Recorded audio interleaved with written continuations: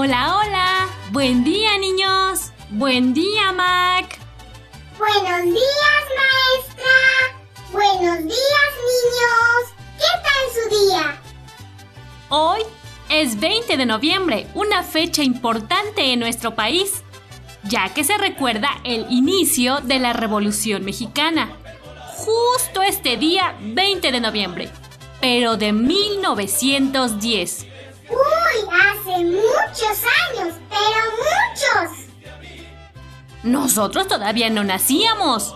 Pero, ¿sabes? Alguno de nuestros abuelitos sí. Ah, entonces los abuelitos de nuestros amiguitos podrían tener algunas historias para contarles. Y son muy interesantes. Porfirio Díaz, quien en ese momento era presidente de México, no era muy bueno con las personas, ya que si alguien no estaba de acuerdo con lo que él decía, simplemente desaparecía misteriosamente.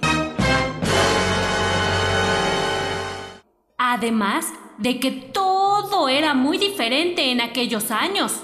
No todos tenían luz eléctrica. La forma de vestir de las personas era muy diferente. Las casas que vemos ahora seguramente no existían. Las personas tenían que trabajar en el campo desde que salía el sol hasta que el sol dejaba de brillar en el día. Los niños no asistían a la escuela, ya que no había tantas en ese momento. Y tenían que trabajar desde muy pequeños con papá y mamá. Algunas personas que tenían terrenos o dinero trataban muy mal a las personas humildes. ¿Te parece justo? No, claro que no. Exacto.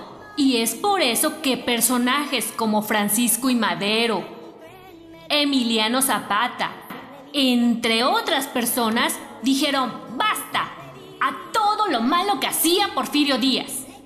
Fueron varios años que la gente luchó para que mejoraran las cosas, aunque sea un poquito.